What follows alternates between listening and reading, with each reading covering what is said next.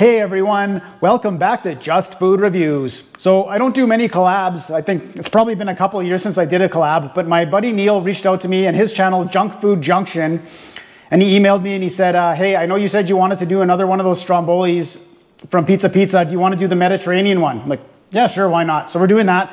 Uh, the last video I saw of his, he did the butter chicken sandwich from Burger King and he took one bite and you can tell he totally hated it. It was made me laugh. anyway, so yeah, today we are doing the pesto Mediterranean stromboli from Pizza Pizza. So here's what it is. Uh, a handheld burst of Mediterranean flavors. Our 10-inch pizza dough rolled with delicious ingredients like pesto, okay, red onions, sun-dried tomatoes, Kalamata olives, hot peppers, and fresh spinach. It, it, smells delicious. It does. I just worry about that many vegetables trying to be cooked in a stromboli. I think it might be a little wet, but this time we are going to try it with the garlic dip. So price for the stromboli was $8.99. The dip was $123, came to 10, 10.75. So almost 11 bucks, but it's a full meal. Had to ask for napkins again. Okay, let's check this thing out.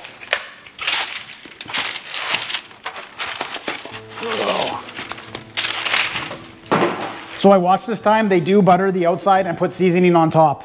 Uh, I'll cut it up, we'll do the zoom in adventure. Okay, it looks pretty good. So there's the tomatoes, uh, there's the hot pepper down there, spinach, olives, and red onion. Let's see if we get another cheese pull. Not quite as good as the last one, but it's still there. Okay, try it out.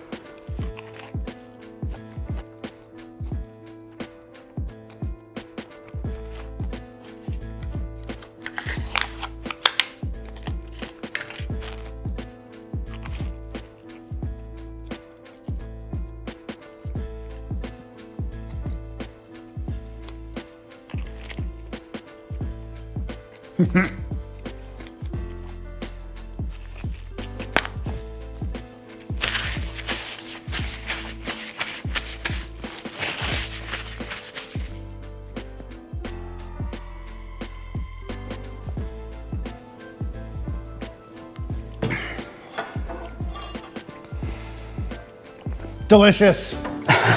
oh, okay, so I will say this though, you have to really like olives to enjoy this because you get the strong olive taste, but I love it. I think it's delicious.